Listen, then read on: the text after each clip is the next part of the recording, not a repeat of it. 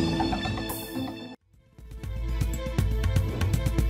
Bienvenue dans cette nouvelle édition du 7 minutes au sommaire. En vue de créer une concurrence saine, la RTCI fixe de nouvelles conditions applicables aux consommateurs. Dès le 16 septembre, ces derniers pourront bénéficier de leurs avantages acquis auprès des opérateurs téléphoniques jusqu'au 31 mars 2025. 1200 chefs traditionnels du Poro ont été missionnés pour mener les populations à participer de manière massive à la révision de la liste électorale. Les détails dans ce journal. Et en fin d'édition, direction Bujumbura, la capitale du Burundi. Impactée par le mpox ou variole du singe, la riposte s'y organise et ce, à travers notamment une unité de soins spécialisée. Bonne nouvelle pour les consommateurs de data ivoiriens.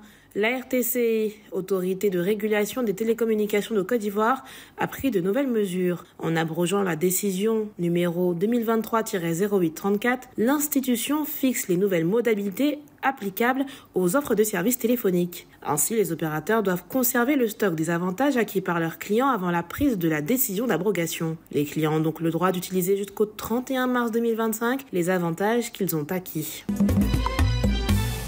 Motiver les populations du Poro à participer massivement à l'opération de révision de la liste électorale. Telle est la mission qui a été confiée à 1200 chefs traditionnels de la région par le président du conseil régional, Fidel Sarasoro. Honorable chef, je vous demande donc, dès votre retour chez vous, de recenser toutes les personnes qui n'ont pas table de naissance et les encourager à aller à la sous-préfecture ou à la mairie pour se faire établir un jugement supplétif table de naissance. Cette table de naissance leur permettra d'obtenir plus tard le certificat de nationalité et la carte nationale d'identité. Pour mener à bien cette mission, ces autorités traditionnelles ont reçu des tenues d'Abara, une action qui s'inscrit dans la vision du chef de l'État pour accompagner la chefferie de la région du Poro dans son statut de régulateur social et d'acteur clé de la concorde nationale. Nous sommes convaincus que notre implication sera déterminante pour la réussite de cette nombre cause sur la sensibilisation à la déclaration des naissances et des décès, à l'importance de détenir des papiers d'identité et à la lutte contre la fraude sur la nationalité ivoirienne. Défis de l'état civil ne vous sont pas étrangers. Il vous faudra vous mettre tous à l'œuvre. Étape cruciale pour garantir la transparence et la crédibilité du processus électoral, la révision de la liste électorale est prévue pour fin septembre prochain. Sauvegarde du patrimoine et de la préservation de la paix sociale, tel était le thème de l'atelier de formation des acteurs culturels organisé par le collectif du même nom. Nous avons décidé avec notre association de fédérer nos forces et nos énergies afin d'être utiles à notre communauté par cette plateforme où, de façon bimestrielle, nous tenons des sessions de formation où nous invitons des experts de la sous-région à venir transmettre leurs savoirs et connaissances à nos acteurs culturels. Pour mener à bien cette mission de promotion de la culture, les participants sont exhortés à d'abord préserver leur patrimoine. Euh, ce qu'il faut retenir, c'est que nous devons préserver ce patrimoine-là. Nous devons préserver le patrimoine culturel parce que euh, euh, cela fait partie de notre identité, bien sûr, c'est vrai, mais c'est également en le préservant, nous préservons notre histoire.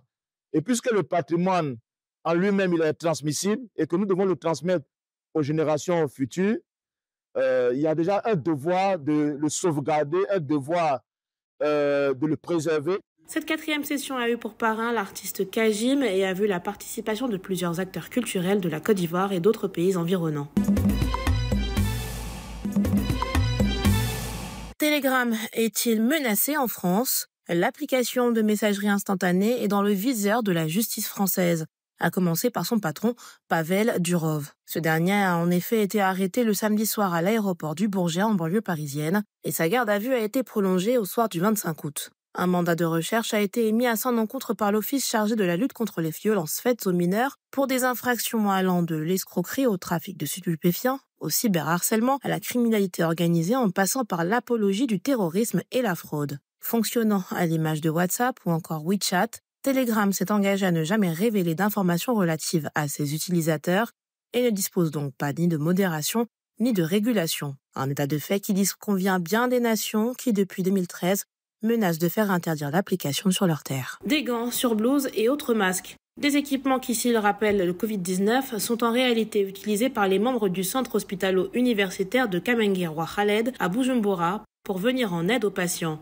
L'institut médical est devenu, face à la croissance des taux de variole du singe, une véritable unité spécialisée. Et au moment où je vous parle, 26 sur 49 districts qui comptent le pays ont enregistré au moins un cas de Mpox.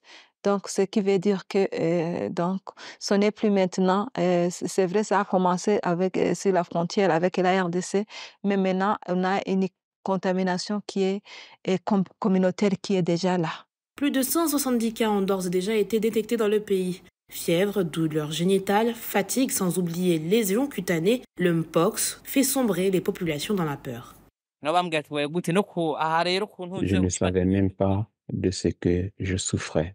La nuit, les gens commençaient à me fuir. Je me suis présenté à l'hôpital pour qu'on me dise de quoi je souffre. Je n'avais rien dit aux gens qui étaient constamment en contact avec moi, car je ne savais pas ce que j'avais.